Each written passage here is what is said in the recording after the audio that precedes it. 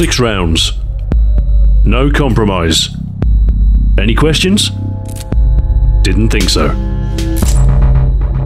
Magnum revolvers are a powerful class of weapons that see frequent use in games. A step up from other sidearms, they hit hard and take no prisoners. So, why do some still prefer revolvers to semi-automatic pistols? Why are they associated with powerful Magnum cartridges? And did I fire six shots, or only five?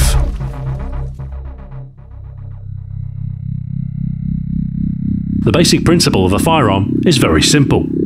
A projectile, some propellant, and a vessel to contain and direct its ignition. The only difficult part is reloading.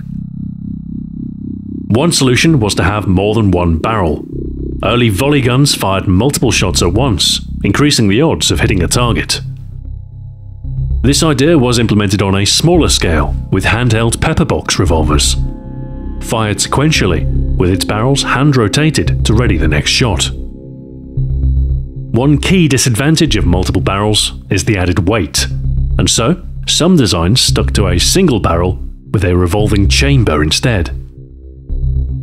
The most influential revolving gun design was patented in 1836 by a man named Samuel Colt.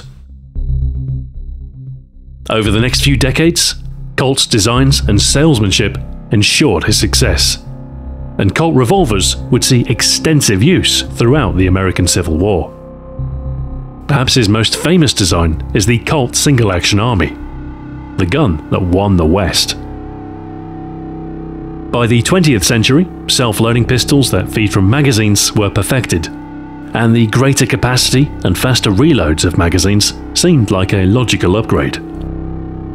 Revolvers can lay claim to greater reliability, however, and the time tested designs stayed in fashion with die-hard fans. Auto loading designs are less suited to feeding rimmed cartridges, and a longer casing can be more difficult to extract. So, revolvers found a niche with magnum loads. The 357 Magnum round was introduced in 1934 by Smith & Wesson kickstarting a new era of powerful handgun cartridges. A lengthened version of the earlier 38 Special, an increased powder load meant a far greater muzzle velocity. The new Magnum caliber was the most powerful handgun cartridge available at the time. A variety of powerful Magnum calibers followed, including one that would be immortalized in film.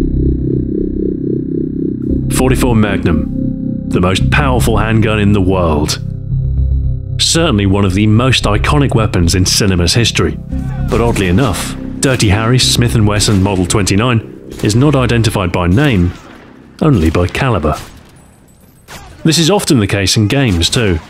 Manufacturer and model left unspecified, even amidst a full arsenal of realistic weapons.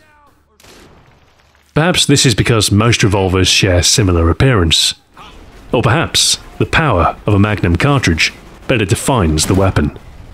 A signal of authority with a streak of rebellion.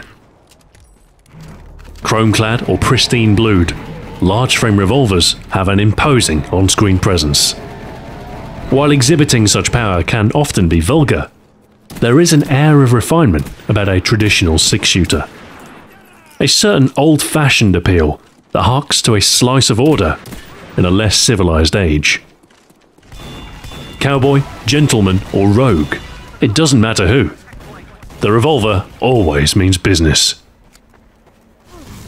Cut for a different caliber, they might be sidearms, but they're a tier above a typical semi-auto pistol.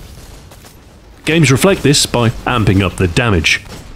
Where a regular pistol might take 3 to 4 shots, a revolver will need only 1 or 2. This makes them a very powerful option so, of course, they are often saddled with significant disadvantages in the name of balance. Ammunition is often scarce, and the recoil inevitably high, demanding good judgment and careful aim for the greatest success. For those who desire both power and precision, there is sometimes the option of a scope. Magnified optics extend the revolver's reach and help bridge the gap between sidearm and primary weapon. While an unusual fit for a handgun, it does make sense. With so few rounds and better power retention at a distance, it's important to make shots count. A universal trait of powerful revolvers is their limited capacity. Usually 6 rounds, sometimes 5, and rarely more. This reflects the real-life limitation of revolver designs, and also helps to forge a particular niche in games. Fewer rounds means more frequent reloads, and this can be dangerous, as inserting six rounds in the midst of combat is a grueling process. Luckily, in most games the process is performed with the aid of a speed loader, permitting the refreshment of an entire cylinder in one fell swoop. Still slower than a semi-auto, the time spent reloading is a way to temper the revolver's power. This union of high damage, limited capacity, and slow reloads make for the perfect high risk, high reward option. A weapon that transcends its traditional era and defies those who would label it obsolete. It doesn't shy away from unconventional theatres. You'll see six shooters in space on a far flung future world, tackling waves of zombies out for blood or roaming the wasteland of a nuclear apocalypse. It doesn't matter where, it doesn't matter when. The only constant is an awful amount of power, all contained in a pocket sized package.